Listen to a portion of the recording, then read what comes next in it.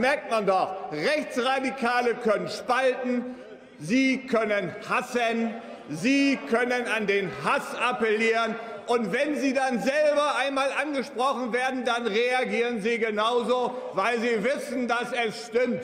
Schauen Sie in den Spiegel, dann sehen Sie, was diese Republik in den 20ern und 30ern ins Elend geführt hat. Gleichzeitig ist es so, dass die AfD in diesem Land die Partei ist, die sich hier hinstellt, und das kann man ja beobachten, 40 Milliarden mehr für die Verteidigung ausgeben will, aber nichts für die Rentner. Man kennt das, von Rechtsradikalen kann man keine Lösung erwarten. Und wenn sie dann jetzt auch noch gehen, kann man ihnen nur einen Spruch zurufen. Liebe Kollegen, bitte nehmen Sie Platz. Bitte nehmen Sie Platz. Bitte nehmen Sie Platz. Herr, Herr reden merkt Sie weiter. doch, dass es im Bundestag auch wieder sachlich zugehen kann, immer dann, wenn die AfD weg ist. Kommen wir also nun zu diesem Haushalt. Ich glaube nicht, dass es zielführend ist, wenn wir eine solche Aggressivität hier in dieses Hohe Haus bringen.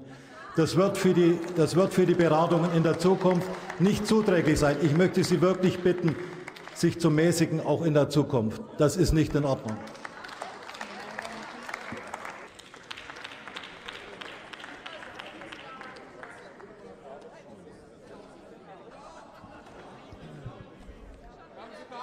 Herr Präsident, ich möchte zum Ausdruck bringen, dass ich es für befremdlich halte, wenn Sie dem Kollegen Kahrs sagen, er bringe Aggressivität in dieses Haus und ich von Ihnen eine solche Äußerung im Verhältnis zu Kolleginnen und Kollegen der AfD, nein, ich will lieber sagen zu Abgeordneten der AfD, noch nie gehört habe.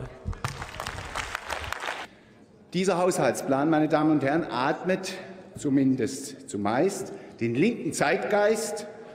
Er huldigt dem kulturmarxistischen Zeitgeist der 68er und ihrer Apologeten. Überall schlägt es uns entgegen. Es geht so gut wie immer um Umbau unserer Gesellschaft, um die Durchsetzung einer vermeintlich bunten Multikulti, Diversitäts-, Integrations-, Phantasma- und Gender-Gaga-Vielfaltsideologie. Mir fällt bei diesem ganzen Ansatz nur ein Zitat von Gottfried Benn ein, und der sagt, das wird ihm zugeschrieben, das Abendland geht nicht zugrunde an den totalitären Systemen, es geht auch nicht an seiner geistigen Armut zugrunde, sondern es geht zugrunde an dem hündischen Griechen, seiner Intelligenz vor den politischen Zweckmäßigkeiten. Ich danke Ihnen für Ihre Aufmerksamkeit.